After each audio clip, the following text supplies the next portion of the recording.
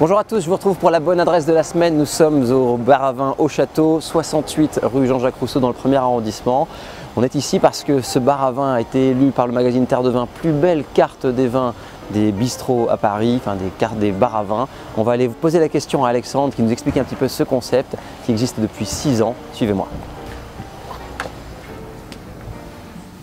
Voilà, donc je vous retrouve dans la vinothèque du bar à vin au château, un endroit qui est sous les projecteurs en ce moment et qui est euh, un endroit fascinant. Vous voyez un petit peu le décor, beaucoup de grands vins, beaucoup de grandes bouteilles, une carte des vins magnifique. Et je suis avec Alexandre Savoie, le maître des clés de la cave.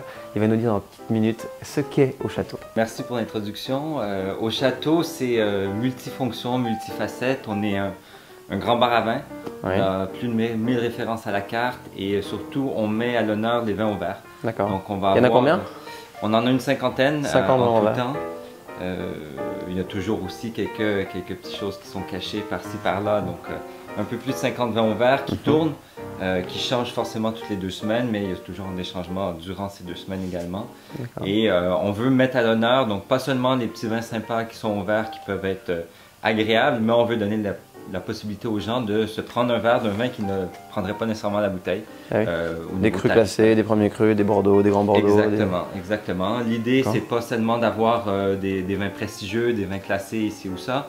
On a aussi, euh, on travaille majoritairement avec des petits producteurs. Avec des choses rares, donc des productions plutôt limitées. Exactement. Des, des, vins qui sont sous allocation, qui sont difficiles à avoir, mais sur lesquels on fonctionne en petit volume et, et comme ça, tout le monde est content. D'accord.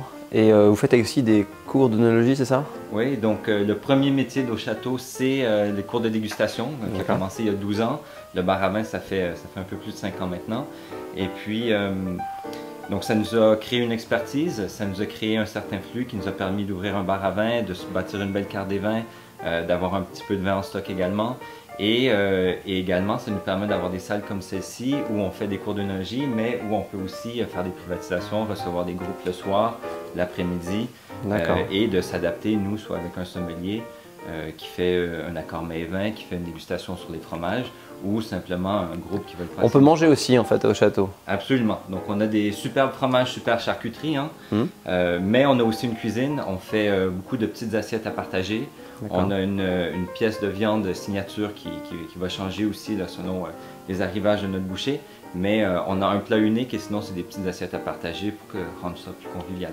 Super. Voilà, donc un endroit assez sympa, c'est ouvert tous les jours de la semaine Oui, fermé le dimanche uniquement. Fermé le dimanche uniquement et on peut venir à partir de midi, c'est ça?